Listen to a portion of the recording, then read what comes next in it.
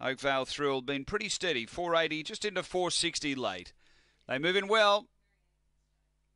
This is uh, race nine, light on, set to go here at Angle Park. 260 Almighty Stripe, Springvale Lizzie, the well back late mail.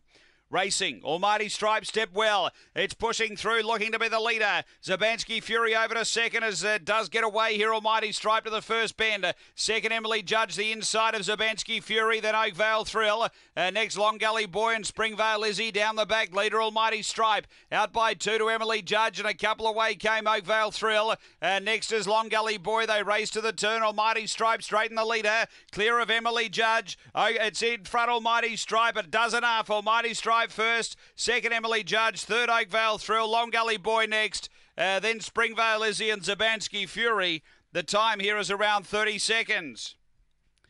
After the running of race number nine, and it's uh, two, five, four, and seven. To the winner, Almighty Stripe, Tim Richards. So he did tighten up again late in the market. Uh, gets the prize here. Able to bounce out, grab the front, and too good. Uh, five second, Emily Judge for Judy Hurley. Four Oakvale Thrill for Nathan Wilson third. It's uh, two five four seven fourth after race number nine here at Angle Park.